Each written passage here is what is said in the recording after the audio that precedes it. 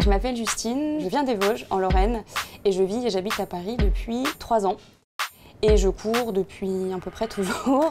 Je viens d'une famille euh, de trailers et du coup j'ai un petit peu baigné quand même là-dedans depuis, euh, depuis toute petite.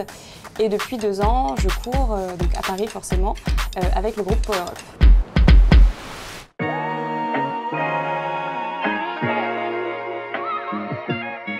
Euh, donc Power Up, on est, un, groupe de sportifs, pas uniquement running, même si ça représente quand même une grosse partie de notre entraînement.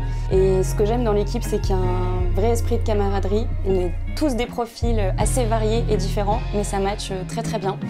Ça fait euh, un an et demi maintenant que je cours euh, ce qu'on peut appeler des, ultra trails. donc mon premier c'était en septembre l'année dernière. ça a été très très dur tant physiquement que, que mentalement. Mais on a fini. J'admire euh, à peu près tout le monde et tous les gens qui font des, ultras.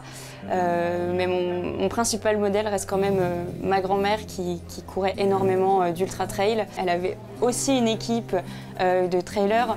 Donc c'est vrai que tous mes week-ends, je les passais sur des courses, des ravitaillements et, j'ai suivi ça de très près. Donc c'était quand même assez logique pour moi de me diriger dans cette voie-là, si je peux dire comme ça.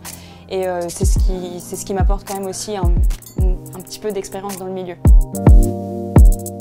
Bah, je pense que la course aujourd'hui fait vraiment partie de mon équilibre et représente une grosse partie de ma, de ma vie. Euh, mais j'ai aussi la chance quand même d'avoir des proches qui ne sont pas tous là-dedans, ma famille, mes amis, ce qui me permet de, de, sortir, de penser à autre chose et qui me permet vraiment d'avoir ces deux, euh, ces deux axes dans ma vie qui se complètent finalement.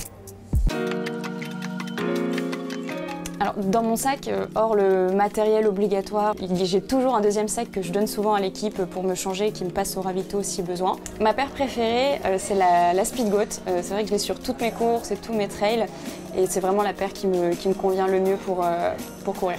J'aime bien aussi avoir sur moi des pansements, de l'arnica en granules et puis j'ai toujours mon petit, mon petit porte-bonheur qui est ma pierre et euh, que j'ai toujours avec moi.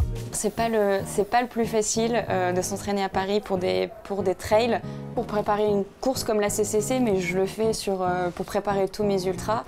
J'aime bien rentrer dans les Vosges quelques, quelques semaines avant pour déjà aller courir à la montagne, faire un petit peu de dénivelé, bien dormir, m'éloigner aussi peut-être du stress que je peux avoir à Paris si je veux parler de mon expérience perso, je dirais de débuter par des plus petits formats, des 20, des 30, des 40 km, avant de se lancer tout de suite dans un, ultra. Et puis après, sinon, c'est déjà bien s'entourer avec des gens qui peuvent vous suivre aussi au ravitaillement et prendre soin de vous. C'est très important pour le, pour le bien-être psychologique. moi, j'aurais beaucoup de mal à repartir euh, sans avoir l'équipe derrière moi et euh, qui m'accompagne et qui m'aide.